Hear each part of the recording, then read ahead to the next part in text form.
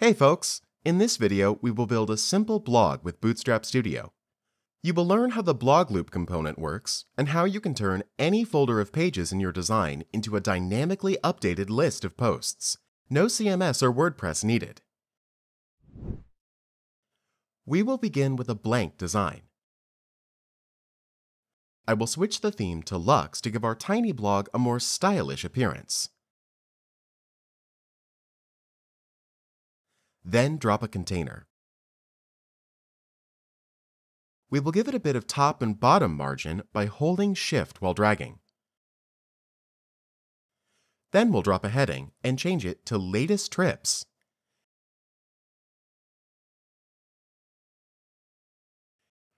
Here I have a folder with cover images we'll be using for our blog posts. Just drag them in to import them. We need to create a folder for our blog posts. You can give it any name you like, but we will go with blog for this example. Inside, we will create a page for our trip to Paris.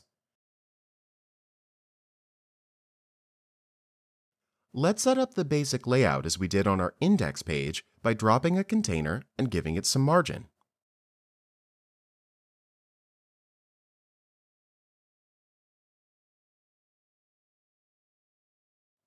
Inside it, we will add a link that will bring readers back to the main page.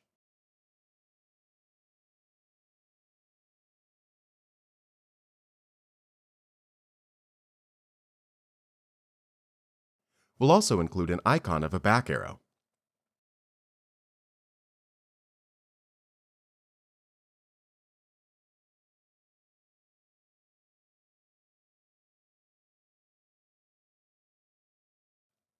We're ready to add some content.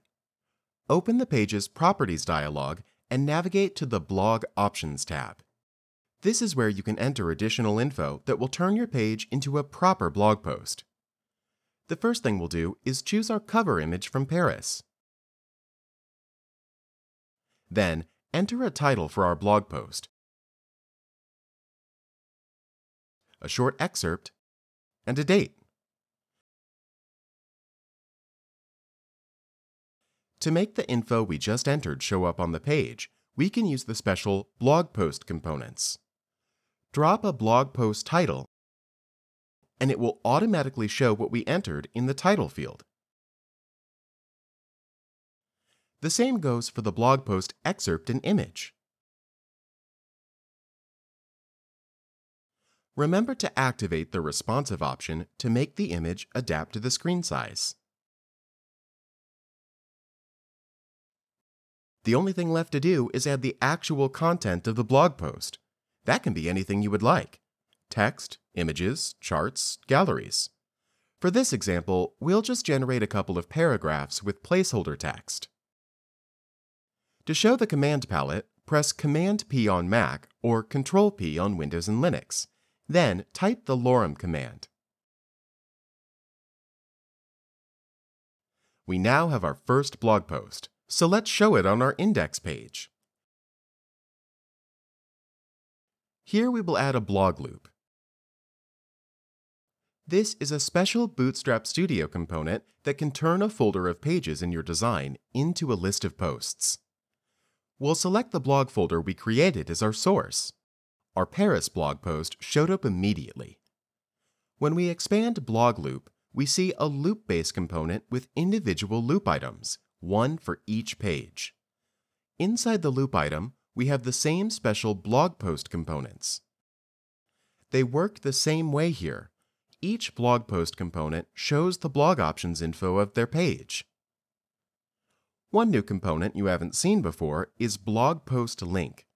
It's a regular hyperlink that always points to the blog post page. The result is that clicking the card will lead users to the blog post page, this way, your list of posts maintains itself. You don't need to update the URL of each new blog post you add. It'll be filled in automatically. Our layout needs a bit of work. Right now, the post takes the entire width of the page, but we'd like to show three per row. This is easy to do since BlogLoop uses Bootstrap rows and columns to structure its content. This means that Loopbase has the same options as row, and you can use the per row settings.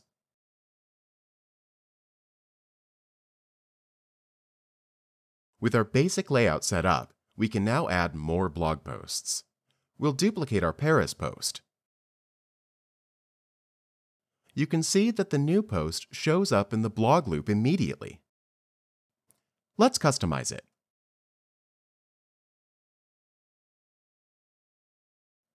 Double-clicking any of the blog post components opens the Blog Options screen where you can quickly make changes.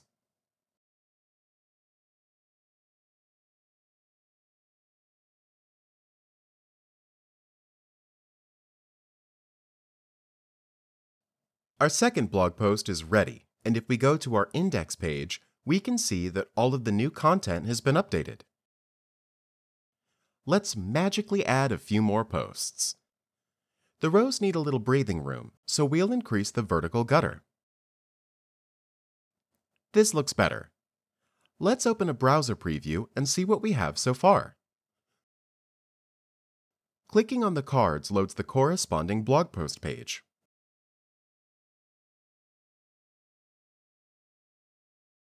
Everything looks good, but the excerpts are a little long. To make them shorter, select the excerpt and set the length limit option. You will show only the first 80 characters, and because loop items are always in sync, you can see that the setting is applied to all of them. Another improvement we can make is to add dates. Grab a blog post date component and drop it inside one of the cards. The rest will sync up and show a date as well. This makes editing the list a breeze. Pagination is just as easy. Just activate Show Pagination and set the Per Page option. If we head over to our browser, we can see this in action. The pagination is functional, but you might notice that the URL does not change. That means that if we reload the tab, we'll always land on the first page.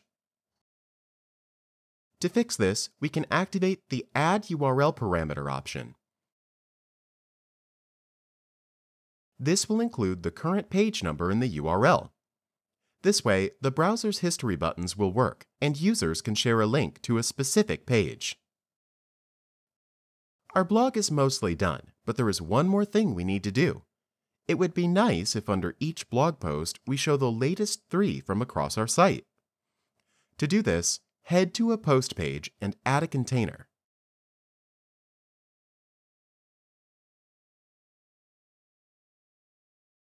Then, drop a blog loop and select the blog folder again as the source.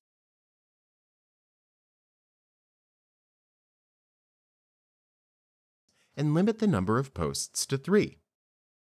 Now the only issue is that the current post is also included in the list. We can fix that by switching on the Exclude Current Page option. To show this section under all of our blog posts, we can right-click the container and select Copy to Multiple. Here, we'll check all the blog posts and activate the Link Copies option.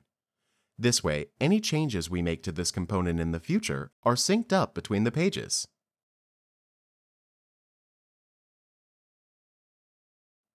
With this, our blog is ready. Let's try exporting it and giving it a final test. Just choose where you wish Bootstrap Studio to write your website files and hit Export. You get a folder with HTML files and assets which you can upload anywhere and get a working site. The blog loop components are embedded as regular HTML, this makes your site SEO friendly and super fast to load without having to deal with WordPress or another CMS. Thank you for watching. In this lesson, you learned how to use BlogLoop and the other blog components to build a simple travel log. But you can use BlogLoop for so much more than that. With it, you can build portfolios, testimonial sections, online courses, and much more. We look forward to seeing what you create.